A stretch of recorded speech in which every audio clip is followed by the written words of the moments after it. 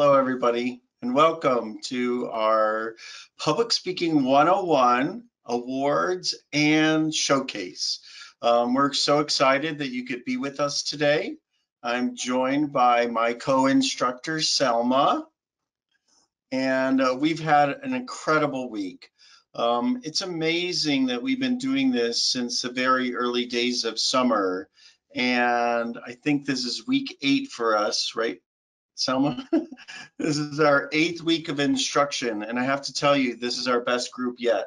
Uh, I don't know if we're getting better or if our students are getting better, but some magic really happened this week. The fact that four days ago, we gave them a topic that none of them knew anything about. And we learned about the government, we learned about social media, we learned about other countries. We learned so much information this week, and I think you're going to see all of that come out in their persuasive speeches today. So we're really excited that you're able to join us. I'm PJ, by the way, um, and uh, you heard me say Selma as my co-instructor.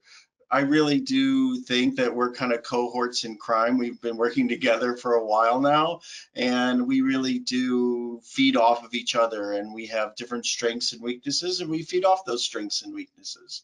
And we're Hi. joined also by Mr. Bratt. Hi, Mr. Bratt. I, I, this is your show. I don't want to interrupt, but I want to do uh, ditto that, that uh, PJ and Selma, you have done an amazing job this summer. And I know your, all your kids and your graduates can attest. uh, And uh, you've worked hard and, and I can tell from all the success of your students. I want to thank you and I want to wish everyone good, good luck today. Thank you. You guys did a great job. See Thanks everyone. for being here. Um, as a lot of you know who are watching, uh, this is recorded so that if any of your family members missed it, um, you will be getting an email that has a recording attached to it. So you'll be able to see the speeches over and over again, um, and you can show them to other people as well. Um, I think you should be very proud. I think all the students should be very proud of what they've accomplished and achieved this week. Selma, are we ready for awards already? Oh my gosh, do you want to talk about the class? You already talked about them, just like you said. Everyone did such an amazing job. As you can tell, we had fun both inside the classroom and when we were playing all different types of activities as well. So hopefully they can give you some of the activities and you guys can play it during family game night or something too. So without further ado, PJ's going to start start our awards. Woo! Course, there's like some kind of like not upbeat song. Our first certificate goes to Giselle Chan. Our next certificate goes to Aditya Jaganathan. Our next certificate goes to Sophia Johnston. Our next award goes to Eileen Nee. Our next award goes to John V. Shaw. Ihina Skolka. Chokla, Chokla, sorry, Ihina. Uh, Angela Yang and Joshua Yang. Congratulations to everybody. You did a great job this week. Um, as Mr. Bratt was here and talked about our students, and I talked about our students finding their voice, uh, this morning they were able to fill out their student survey. So those parents who are watching right now and parents who watch this on the replay, on the tape, the recording, uh, you'll be able to actually do a parent survey as well. So you just type in parentsurvey.capitoldebate.com and there are a few questions there. I will tell you that I've worked with a lot of organizations over the years, and a lot of people do surveys, but they don't always pay attention to them. And at Capitol Debate, they read every single survey that's submitted, both by students and parents. And many times, year upon year, they make changes based on the surveys. So definitely be honest in your opinions, share your ideas, the information that you have, um, because it only helps our company grow and get better.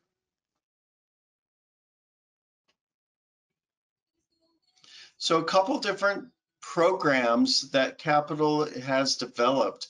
And if you enroll in different programs today, you get 50% off your next camp. And I believe they're going to have camp for three more weeks. Selma and I have one more week together.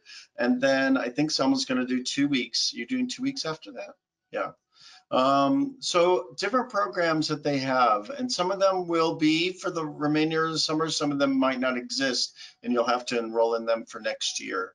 But business communications is a great program. Selma and I both teach that. Uh, legal communications, interpersonal communications, and STEM communications, which is a course I've taught as well. Then there's different levels of debate. So they've completed debate 101, and they just received their certificates for that. Then the next step is debate 201, where they actually start debating against another person. So you'll see today the development of the persuasive speech, which is the foundation of their debate speech. And then that's developed into a debate case, and they debate against one other person in the 201 class. In the 301 class, they debate against everyone in the class. So they have to learn all the different ideas that are out there on the debate topic. And then 401 class is an entire week just of debate back and forth against all the different people who are in the class. There's also a club league, and our next slide is going to talk a little bit about the club league and going into the school year. So the 2020-2021 Debate League um, has just opened. So Capitol Debate um, has always run, but I think it's going to become more prominent now that we're in an online format and Capitol Debate's done such a great job with their online classes. So you're going to see more and more students joining their um, debate program during the school year. So that's what this slide is about. It talks a little bit about the fact that registration is open.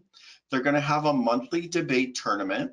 They're also going to do weekly online practices, and then they're also going to have workshops and clinics um, for different students across the country.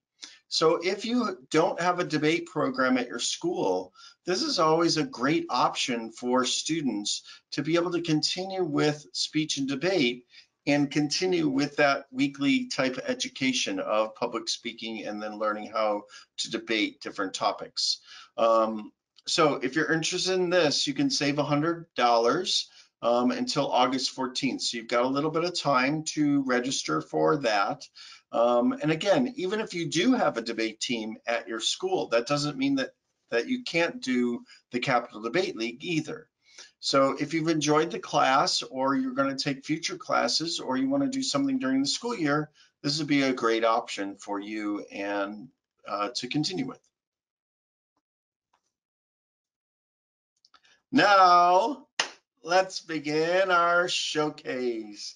That's what we came here for, is to really see our students shine. Our first presenter who will invite to the, oh, first, oh, can't invite her to the screen until I talk about the topic. So our summer debate topic is government regulations on social media companies do more good than harm. We give our 101 students that debate topic, and then they have to choose a, a subtopic underneath that big umbrella topic. They develop those arguments in those different areas and put together a persuasive speech.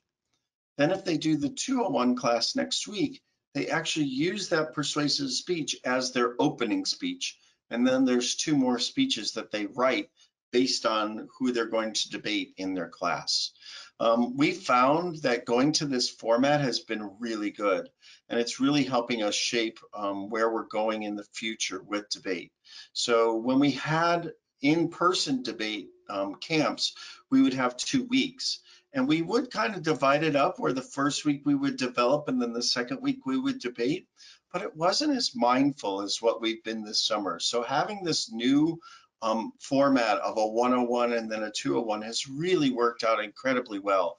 And we've seen our debaters be better at debate because they're starting with the formation and the foundation of persuasion. So that's what you're going to see today. You're going to see basically subtopics of this main topic that everyone across the country in Capitol Debate is debating. So it'll be interesting to see what you think about the different aspects that the students have found when they began to research this topic.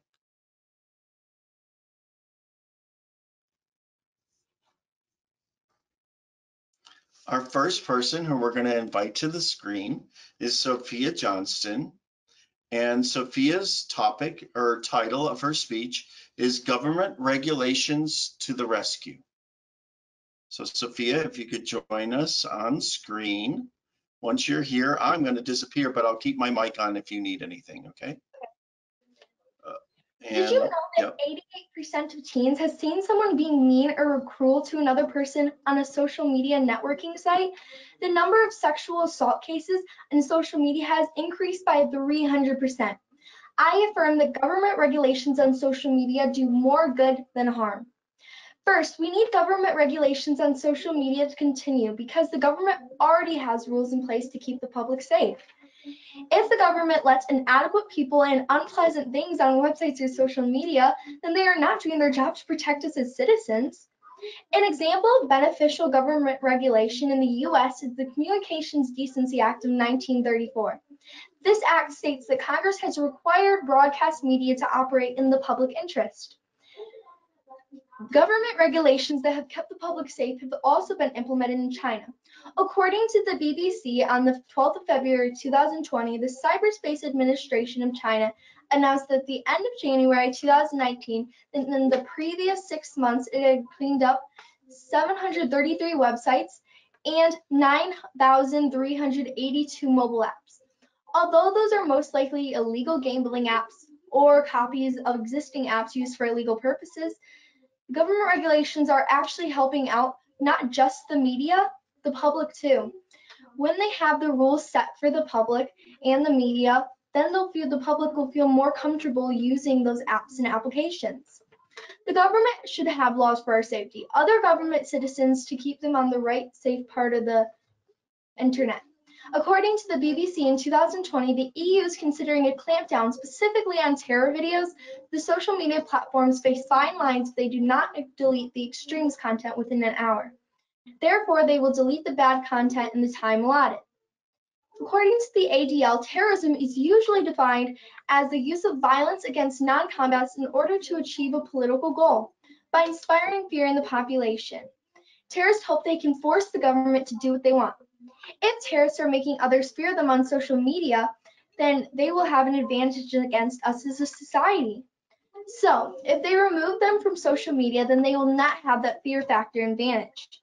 According to The Verge in 2019, critics say that the uploaded filter could be used by governments to censor their citizens, and that aggressively removing the extremist content could prevent non-governmental organizations from being able to document events in the war-torn parts of the world. We have laws and regulations in place, but like the EU, we need to put down more strict laws for things like terror videos and sexual content. We need these because if we expose to kids too early, that could be dangerous. Our teens and our society can only be protected by the strict government regulations. Will you stand for government regulations?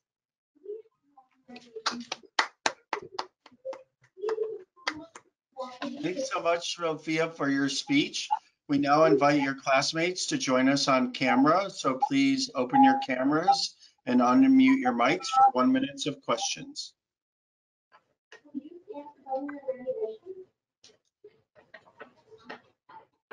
Angela, you're first. How can you guarantee that the government will regulate all websites and posts? I can not guarantee, but I know for sure that the government will have a filter that will help filter out all the bad content so then you only are left with good content. Thank you. You're welcome. What can the government do to prevent children from seeing inappropriate content? Um, like I told Angela, I think that they could have a filter to filter out all the bad, like negative and positive, like things on social media, and so then you're left with the good. Thank you. You're welcome. Do you think that if What the if the- government imposed these regulations, they would be too restrictive and controlling? Um, if the government has those regulations, they might be more strict than the public may want, but they're doing it for our safety. And if they go too far, then I bet that the public will speak up. All right, thank you. You're welcome. What if the government were to abuse its power? If the government were to abuse its power, uh, I'm not the government, so therefore I do not know exactly what would happen, but I would hope that they would come up with a law to make sure that that does not happen. Thanks so much, Sophia.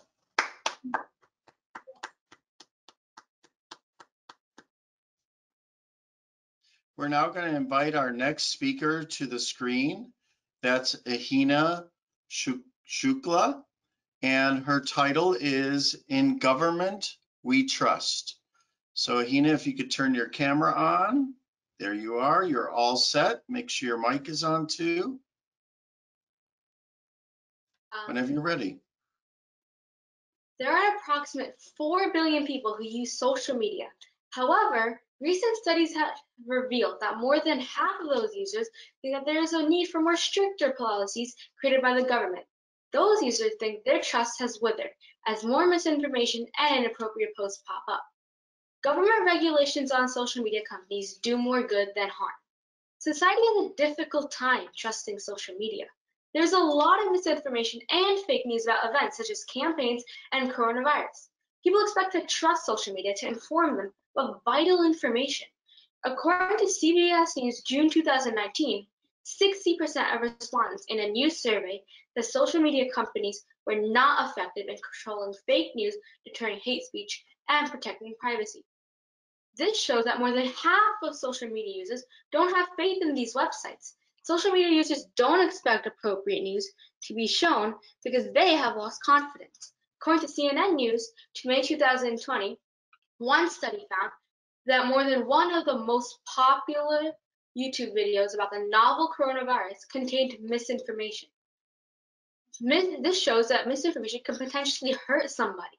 Millions of viewers watched those videos and got the wrong idea on a harmful virus. According to BBC News, April 2020, one example had been shared more than 40,000 times from a Facebook user who wrote that he heard firsthand from a doctor who recovered in double quick time from the coronavirus by inhaling steam. This is another instance where misinformation can harm someone's health. Fake facts on social media are dangerous. Government regulations can help with restoring trust and confidence. Their policies will, will their policies will moderate, limit, and dictate the variety of news on social media. This is important because when someone puts their trust into an article or a post, they will have the wrong idea about the news. Misinformation will break society's trust and can harm someone. Society also has to be very cautious on social, me- social media. This happens because there are a lot of inappropriate or dangerous posts on social media websites. According to InternetMatters.org, 2020, 56% of 11 to 16 year olds have seen explicit material online. More than half of the minors on social media have experienced inappropriate content on social media already. This entails racist and mature posts. Minors shouldn't have to experience these subjects, especially online. According to cybersafetypacifica.org, 2019, viewing inappropriate content may be damaging to a young person's well-being. If age-restricted content can be damaging to well-being, the need for limitation should be mandatory. Mental health shouldn't be injured because of lack of enforcement to eliminate inapt posts. According to morningconsult.com 2020, 68% of those who voted for Trump four years ago said his administration should tackle social media companies' moderation policies and make it a priority, compared to 45% of all adults. After the president himself posted an inappropriate tweet, concerns started to arise from many adults on social media. Yes, youth face the most threat from mature content, but adults are prone to the danger as well. Society should not have to fear the danger online. Regulations are desired from social media users of all ages. Social media users view social media as a threat to their mental health, whereas social media is supposed to be a safe domain. There needs to be stricter regulations. In order to prevent misinformation and block inappropriate posts, we need to have governmental regulations. Therefore, I support that governmentals do more good than harm on social media websites. Thank you. Thanks so much, Ahina. We're now going to have one minute of questions. Questioners, please open your cameras and unmute your mics and join us in the room for questioning period. Do you think that social media can handle this without the government? No, because there's a there needs to be some law involved at this point because there's too much illegal activity and harmful activity going on. Personally, that's my opinion. Okay, thank you. Uh, other than taking down fake posts, how does the government restore trust and confidence? There's unsafe activities, like there could be stalkers and stuff and other dangerous people. Plus, as I said, that there's lots of inappropriate content which shouldn't be online. Anyways. Thank you. All right, thank you. How can you be sure that the government will do a better job than the social media companies to remove fake news? If social media companies had it under control, it wouldn't be such a big problem at this point. There's so much, there's only so much that a small organization can do. At this point, they need more help, in my opinion. Time for one more quick question. Um, what will the government be doing to the social media companies to restrict? Well, first I suggest they review posts before they're posted and they make sure they get the message across of what will happen if people do wrong stuff online. Thanks so much, Ahina.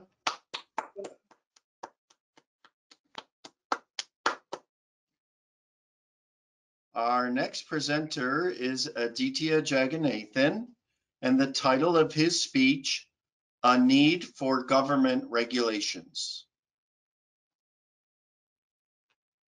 Aditya, if you could turn your camera on. There you are. We all. Hello? Go ahead. Okay. We all love having access to in- instant information through our phones and social media apps, but have you ever thought about harmful effects on social media, from unwanted content to harmful content? We need government regulations to tighten our regulations. I affirm that government regulations on social media companies do more good than harm. First, it is imperative that we have government regulations on social media companies because they have powers to because they can take action much faster than social media companies. The government has powers to arrest, to block, and ban users. According to BBC in February 2020, companies will have to ensure that harmful content is removed quickly and take steps to prevent it appearing in the first place. If the government takes action, they will ensure more harmful content is removed. The people will be very happy about the government taking action on social media content. According to blog Hootsuite, with many people glued to their screens, the wrong message could change up things really quick. It is especially important for the public sector to get out get out their message in a clear, calm, and professional manner. If we don't have government regulations, things will go out of hand like suicide. If the government can stop unwelcoming content which has hurt millions, especially teens with cyberbullying, specifically according to CBS News, second leading cause of death among teenagers in the United States. A recent CDC study has found found that teens jumped 56% from 2007 to 2017. 56% is a lot. That is 23 million teens. Teens are 12.9% of the population, the global. So when the government takes action on social media, we all be protected from harmful content. Second, government regulations on terrorist propaganda that occurs online is important because the government must ban unwelcoming insight propaganda. If the rate of websites slow down, the rate of attacks will also slow down because everything is done online. According to ADL.org, many terrorist groups have their own websites and they and their supporters have profiles on different social media sites. They use these to share propaganda and become friends with new people. Newcomers might be friends with several different terror supporters online. What this means is our government regulations can help stop terrorist activities. There are examples of according to according to the verge.com on March 2019, the news law the new laws in EU require platforms to take down any terrorism content within an hour of notice being issued. And they have to ensure this is not re-uploaded. If they fail either of these duties, government has to fine up to 4% of their global annual revenue. For a company like Facebook, which earned close to 17 billion last year in revenue, that could mean as, as much as fines up to 680 million dollars. What this means is our government regulations will be able to take down harmful material. Stopping terrorist propaganda online is important because the rate of attacks will slow down, which will save many lives around the world. According to our world data in 2019, over the past decade, terrorists have killed an average of 21,000 people worldwide each year. The global death toll from terrorism over the past decade ranged from 8,000 in 2010 to a high of 44,000 in 2014. This means 210,000 people have died altogether in the last decade. If this continues, government will have to take serious action. The government needs to take action or will be losing millions over terrorism that grows online. There are just 46,000 ISIS supporters on Twitter, just supporters on Twitter. Imagine har- how much harmful material would reach us if we didn't have regulations imposed by the government. We need regulations to protect us. Thank you.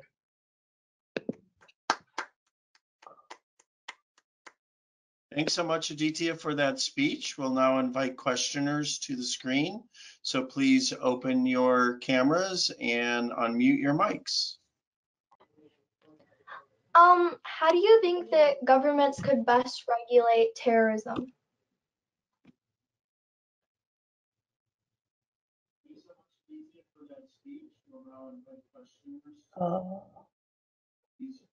Did you hear the question? No, I could not. Sorry. Oh, Can you please repeat she- it? Yeah, Oh, yeah. How do you think that governments could best regulate terrorism? Um, by blocking or banning the user. If not, the max they can do is arrest. Okay, thank you.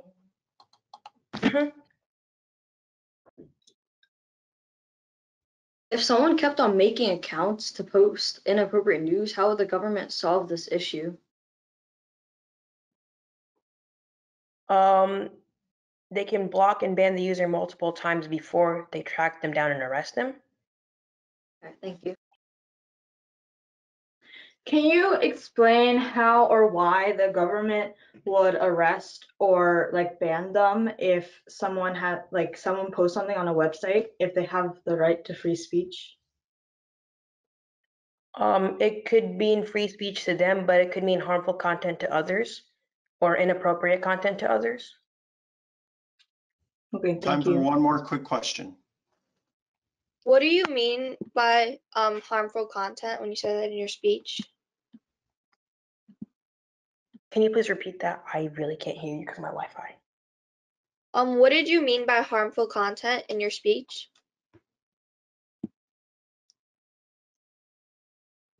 The, the, the question, Aditya, was what did you mean when you said harmful content in your speech? Oh, um, inappropriate things or things like scaring others or many other things which can frighten others. Okay, Great. thank you. Thanks so much. Questioning time has elapsed. Sorry, Ahina. Great job, Ad- Aditya.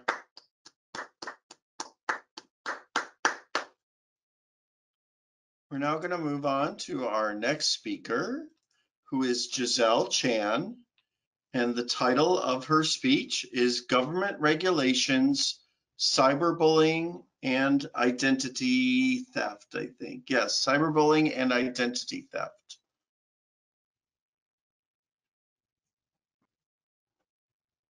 Whenever you're ready, Giselle.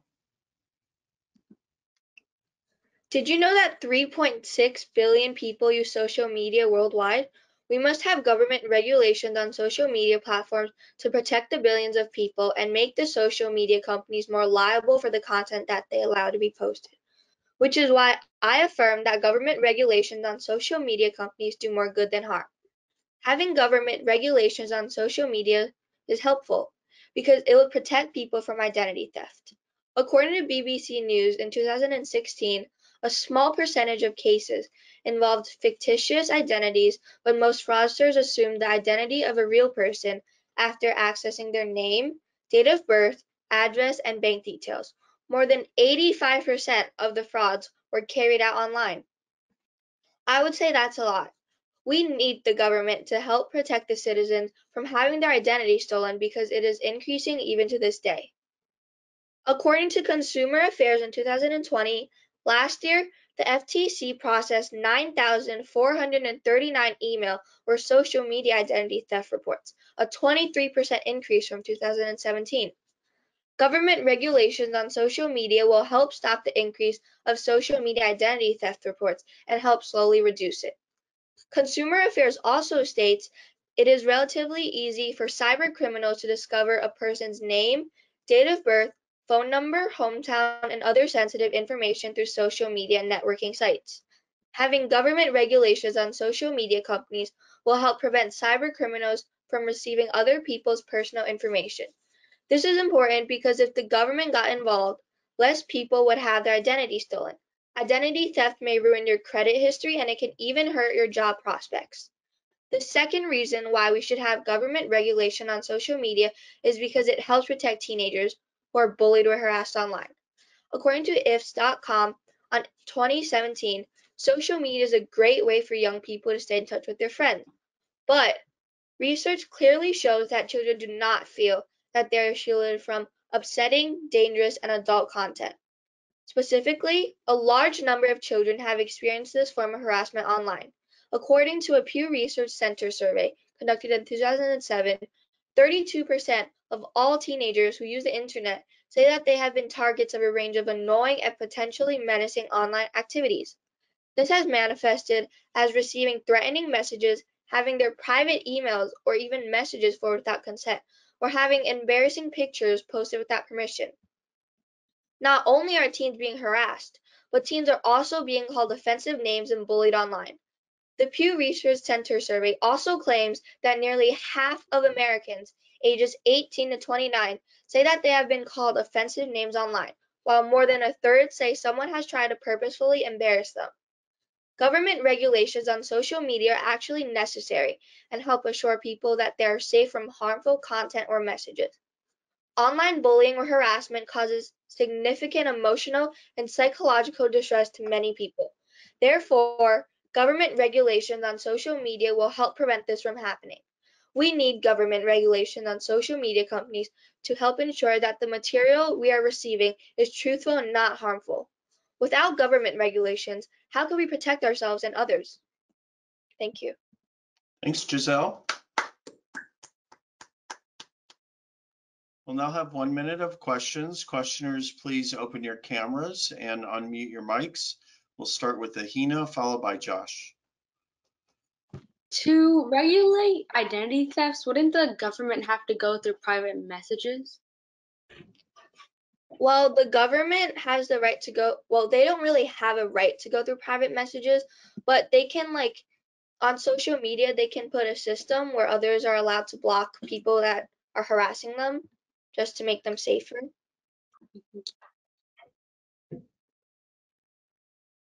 How can the government stop the bullying in person if two people were in the same school? Well, the government can't really do anything about it if it's in person. that would just be bullying. But if it was online, then they can make sure that they can block each other. Thank you. If social media platforms cannot regulate identity theft, then how will the government do it? Well, the government can help enforce the law that they're going to make, so it will probably help make the situation better. Okay, thank you. If the government does regulate social media, is it a guarantee that all identity thieves will be banned from social media or will be caught? Well, I can't guarantee that all of them will be caught, but I'm sure a lot of them will be because of their security systems. Okay, Time for thank one quick question. How will the government regulate bullying? Um, like I said earlier, the government can set a system where others can block each other if they're being harassed. Thank you. Thanks so much, Giselle.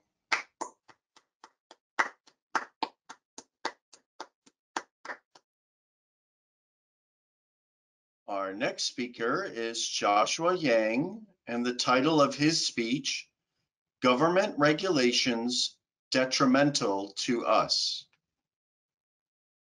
Josh, if you can join us on screen.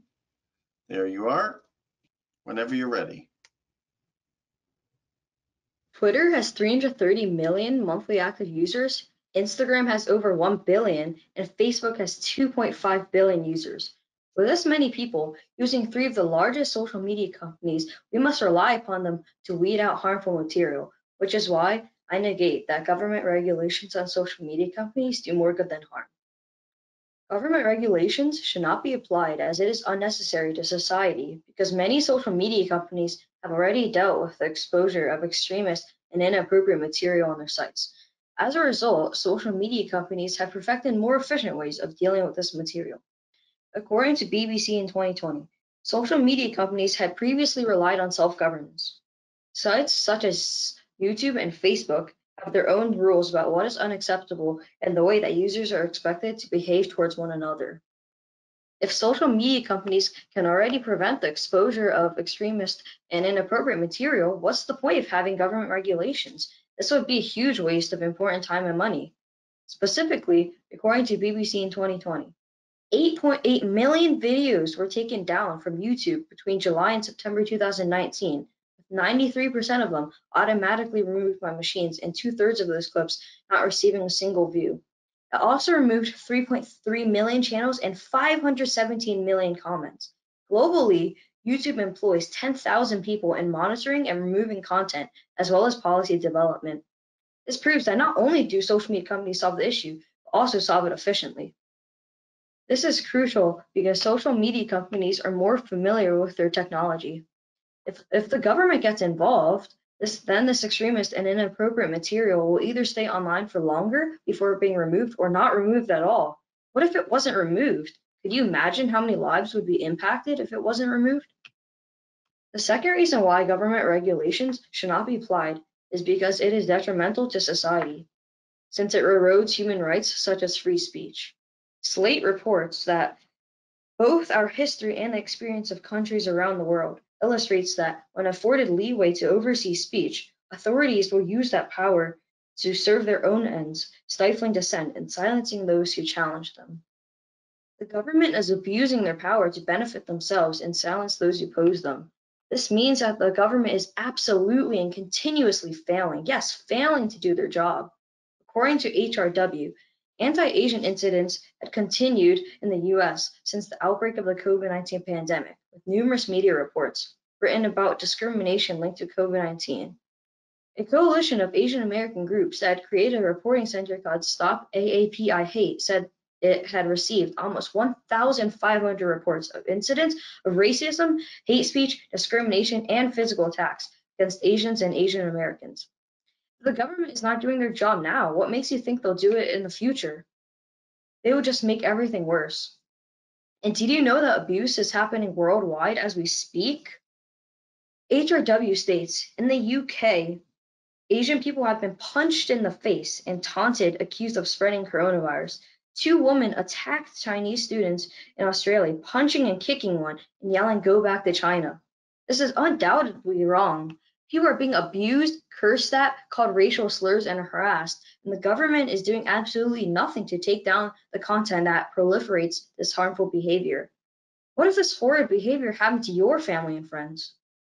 Imagine how much money would be wasted due to the unneeded presence of government regulations. We should not have government regulations. We need to let our social media companies filter unwanted material. They can do it best.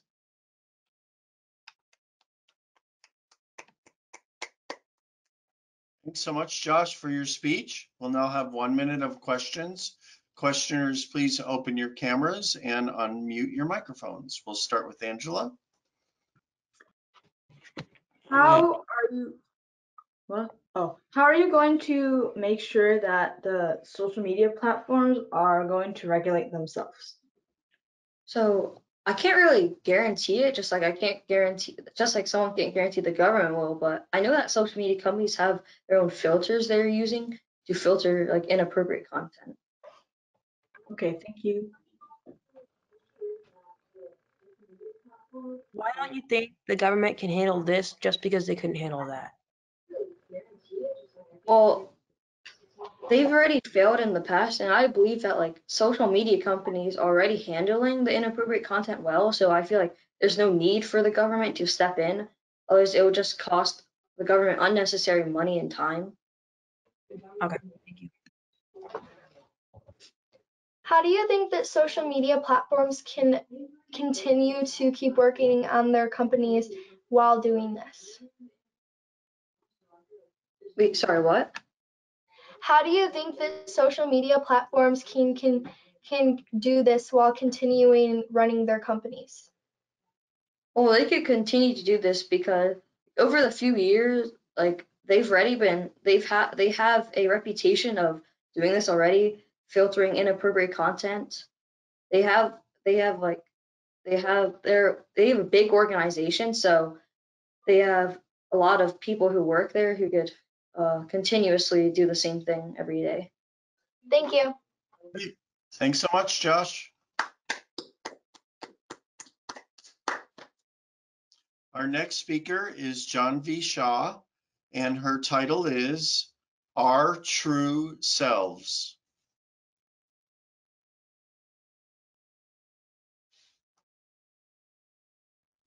John V, you gotta turn your mic on. How do you use social media? You may use it to state your personal opinions or to share your life experiences, or, most importantly, to express yourself. Now imagine this freedom being snatched from you. I negate the resolution that government regulation of social media companies does more good than harm. When governments regulate the content posted on social media, it disintegrates an individual's ability, ability to express themselves. This is because social media is where people share their particular viewpoints on issues. If the government holds contrary belief to an individual's opinion, the government will attempt to obliterate this evaluation and limit how social media users read or share their personal opinion. According to Cato Institute in 2019, regulations of social media companies might either indirectly restrict individual speech or directly limit the right to curate an internet platform. The First Amendment offers strong protections against such restrictions. As we all know, the First Amendment ensures our freedom of speech and other things such as religion, but the government regulating social media will restrict this right.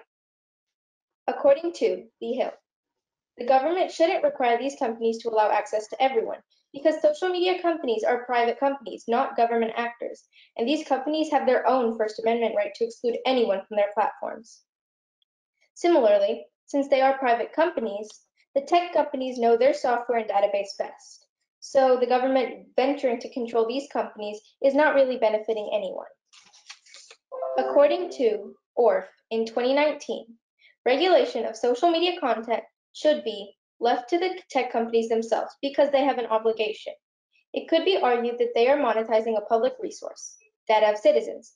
Social media companies have an obligation to the public to limit the spread of misinformation, extremism, and hate speech, etc. So the government would be wasting its time by regulating these companies. The government should not regulate social media content because it prevents people from expressing themselves the government will attempt to eradicate opinions from the community, which, in the long run, is only benefiting the government and not the society. The second reason the government should regulate social media companies is because um, it would reduce people's rights, such as freedom of religion. Because governments in the past and present have endeavored to quell political conflict, knowledge about protests, religious minorities, and the ability for LGBTQ plus community members to express their identities. If we look at the Chinese government, we see this abuse of people's rights to the Uyghur Muslims. According to the Council on Foreign Relations, even before concentration camps became a major part of the Chinese government anti-extremism campaign, the government was accused of cracking down on religious freedom and basic human rights in Xinjiang. To this end, the Chinese government is suppressing Uyghur Muslims by eliminating all TikToks that talk about the concentration camps being produced for this minor religion. According to FAST, in 2019, government action regulating internet content would constitute state action that may implicate the First Amendment. In particular, social media providers may argue that government regulations impersonally infringe on the own provider's mm-hmm. own constitutional free speech rights. So the government trying to restrain people from posting content goes directly against the First Amendment. We must leave it up to the social media companies to regulate themselves. According to BBC in 2020, sites such as YouTube and Facebook have their own rules about what is unacceptable and the way that users are expected to behave towards one another. Social media companies are already doing their job and have more productive methods to deal with objectionable content. Allowing the government to regulate social media would be detrimental because it would suppress the ability of people to discuss progression within communities and to express themselves. If the government could control this too, they would just try and cover it for political power. I negate the resolution that government regulation of social media companies does more good than harm. It prevents an individual from being their authentic selves and, and being able to learn about what is occurring in today's world. After all, do we really want people to be ashamed of expressing themselves? Thanks, John V. We'll now have one minute of questions. Questioners, please open your cameras and unmute your mics. We'll start with Ahina. How do you propose that social media uh, helps take away uh, racist posts on their own without government's help? Can you rephrase that? Yep. How would you uh, imagine social media does uh, to can regulate and moderate it on on it on its own, like the posts and articles? Social media has harsh policies already in place. So the government just adding on to that is just wasting their time because they already have their priorities straight. You What if someone who's like racist and then he or she posts something that's like expressing themselves in a negative way? Should would social media take that down? Yes, social media companies would take that down because it goes against their policies. Okay, thank you. How do you know that social media will fix themselves if they haven't already? Since they already have, like I said to Ahina, they already have pretty harsh policies. So they're they're gonna just start working harder on implying these policies. Thank you. Why is the government taking down certain TikTok videos? Um, so basically, there is a minor religion called the Uyghur Muslims, and they are being put into concentration camps. So what? So since TikTok is run by China's government, China's government is trying to hide the fact that they're trying to suppress or hide the Uyghur Muslims. They're trying to make that go away by deleting all TikToks that talk about the Uyghur Muslims. Hey, thanks, John V.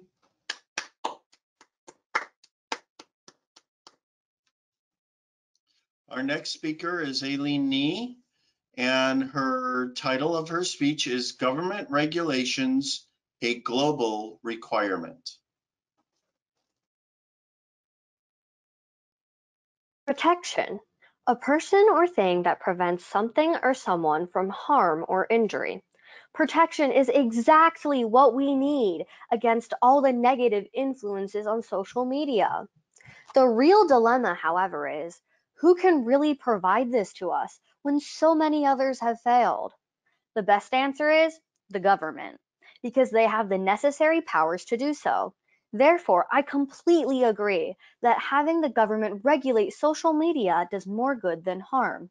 To protect citizens from exposure to inappropriate, violent, and harmful content, it is absolutely necessary for the government to regulate social media. This is because social media companies are incapable of removing this negative content. They therefore need the government to do this job instead. violent and harmful content ends up being posted anyways because of the publicity it causes. According to Forbes in 2020, there's an adage in the media world if it bleeds, it leads. This refers to the fact that sensationalist, violent, or other scandalous content provokes more emotions and simply sells more newspapers or advertising. Hence, there's an acknowledged tendency for social media to show emotionally explosive content that leads users to share content within their networks in exchange for likes. Social media companies aren't doing their job to remove harmful content like fake cures for the novel coronavirus. The fake cures are still viewed as harmful because we don't know what problems they can cause since they aren't tested. According to BBC News, Facebook claims we are taking aggressive steps to remove harmful misinformation from our platforms and have removed hundreds of thousands of these posts, including claims about false cures. Despite these claims, evidence proves otherwise. BBC News also states hundreds of posts spreading misinformation about COVID 19 are being left online. Some 649 posts were reported to Facebook and Twitter, including false cures, anti vaccination propaganda, and more. 90% of these posts remained visible online afterwards without any warnings attached. As you can see, social media companies evidently can't protect us from violent, offensive, and harmful content like they're supposed to. It is also essential for the government to regulate social media because young and innocent teens are exposed to online harassment every day, which severely affects their mental health. Well, exactly what types of harassment are we talking about? To answer that question, according to Pew Research Center, some 42% of teens say that they have been called offensive names. 32% of teens say someone has spread false rumors about them on the internet, while smaller shares have been the target of physical threats online. As a result of cyberbullying, teens are finally requesting politicians to address this issue because teens know that they're the only ones who can put a stop to it. Pew Research Center also says 59% of US teens have been bullied or harassed online, and teens mostly think teachers, social media companies, and politicians are failing at addressing this issue. Evidently, online harassment is extremely detrimental for teens because it can severely impact their mental health negatively. According to Live Science, there were consistent associations between exposure to cyberbullying and an increased likelihood of depression. I strongly agree that having the government regulate social media does more good than harm. To stop harmful content from being viewed and innocent lives from being cyberbullied, we desperately need the government to regulate social media. Protection is not just a word or a definition, it's something that we all need. Thank you. Thanks so much, Aileen. We'll now have one minute of questions. Questioners, please open your cameras and unmute your microphones.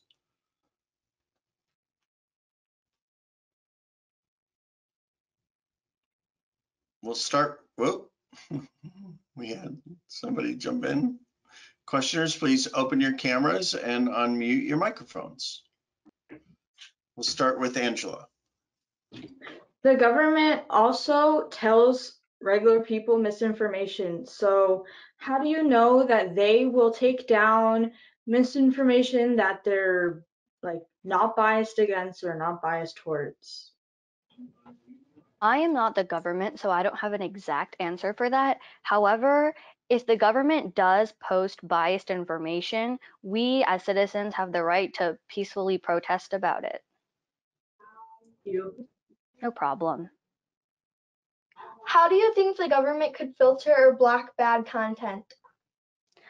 I am not the government again, but I'm sure that the government will have its own powers to filter, like social media companies have their own filters. And since the government is more powerful than social media companies, the government can arrest, ban, or block certain users from social media. Thank you. No problem. Aditya, Uh, your mic's muted. Yeah, you're on mute. Do you think that social media can do this without the government's help? As I said earlier in my speech, social media companies like Facebook have tried to filter them out, but as you can see, like I quoted in my speech earlier, there's about 649 posts of fake cures after social media, um, and, um, I mean, after Facebook tried to go through and filter. And I think that the government would be more effective because they have more power and more capability to filter this negative information out. Time for one more quick question. No problem. Uh, what if the government were to abuse its power? Because what, like, the government won't make laws against themselves. Like I said, if the government does abuse their powers, as citizens, we have the right to peacefully protest about it. Hey, thanks so much, Aileen.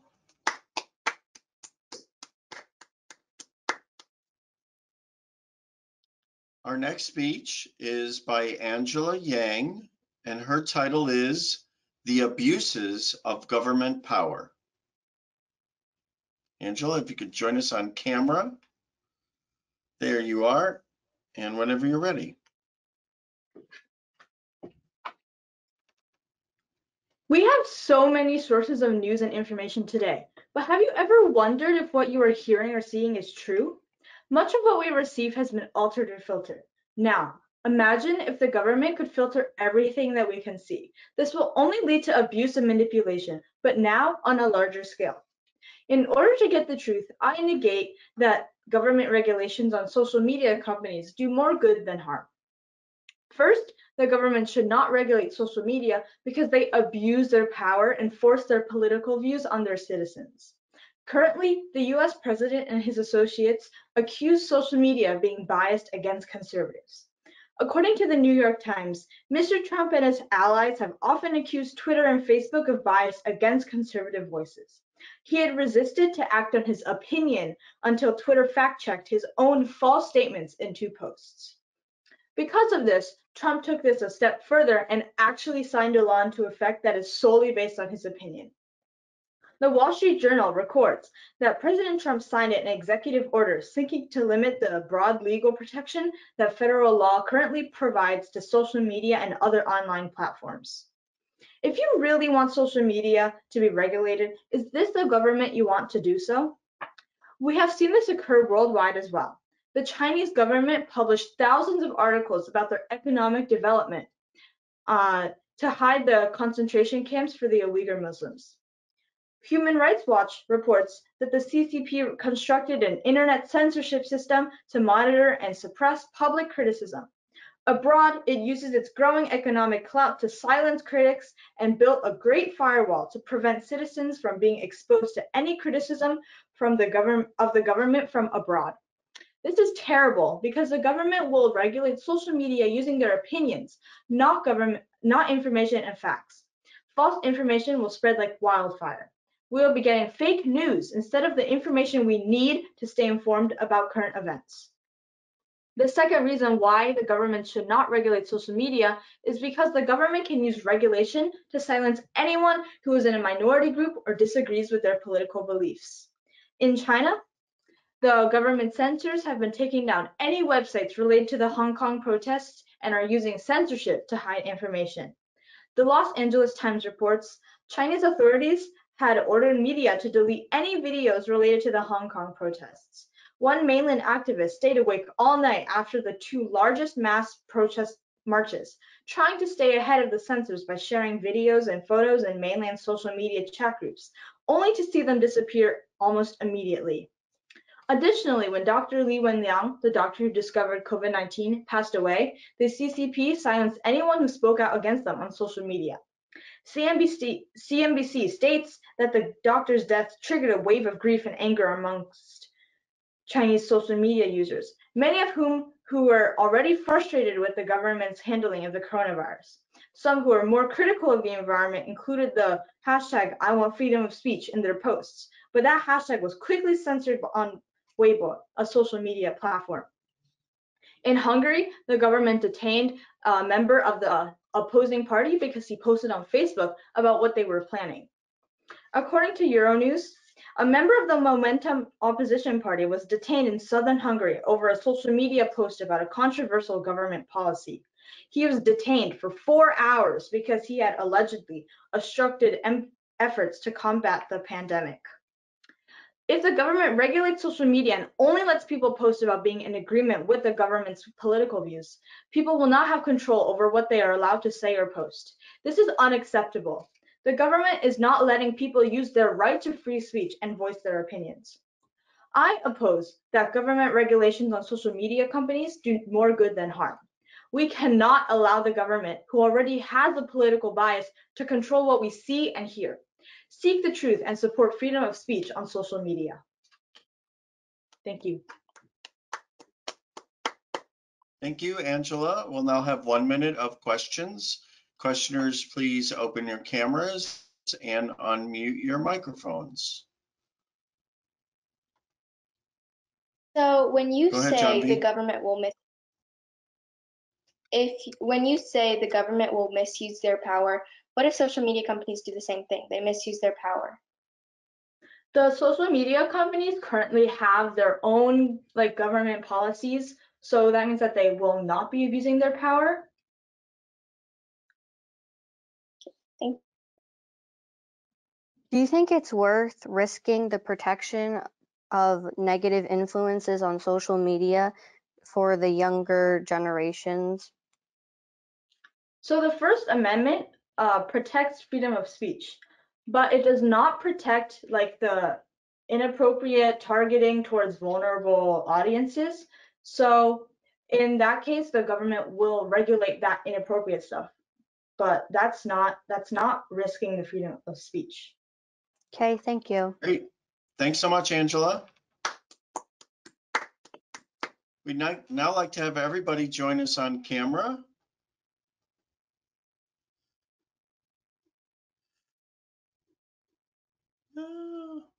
Come on. Uh, uh, uh.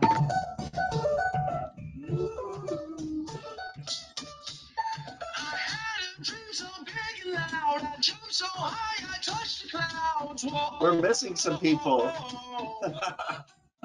Okay, well, thank you all for a great showcase. Selma and I had a great week with all of you, and we just wanted to bring you on camera for one last celebration of our week to dance, to squeeze chickens, to hold our pets in our hands, all that kind of stuff. So here we go. I forgot my dog. Yay, chickens. Ah, ah. Uh-oh, the dogs don't like it. Okay, everybody. Wait, bye. Bye. Bye, everyone. Have a great week. Bye, everybody. Bye Have a good summer. bye. Bye.